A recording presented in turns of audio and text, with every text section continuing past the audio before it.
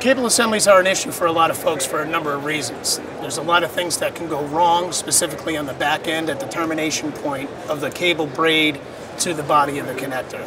So we've done a number of things starting with our E-series of connectors to beef up that back end and we've applied those same principles to some of these other products. We go from DC to 40 gigahertz, uh, connectors as little as the SMPM up through some of the big uh, LC connectors, 7 16 connectors, and, and literally everything in between.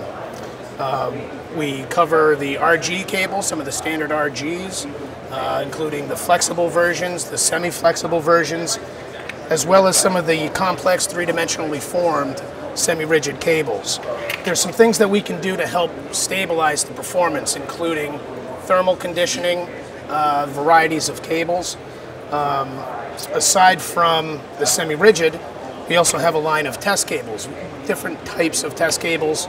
We offer various uh, armoring techniques, uh, whether it be the, the stuff that you can see and feel good about, that it's going to be very rugged, through some 18 gigahertz, very flexible, uh, very stable test cable solutions. San-tron is really a service-oriented company. Service comes first to us. There's a lot of people who do what we do.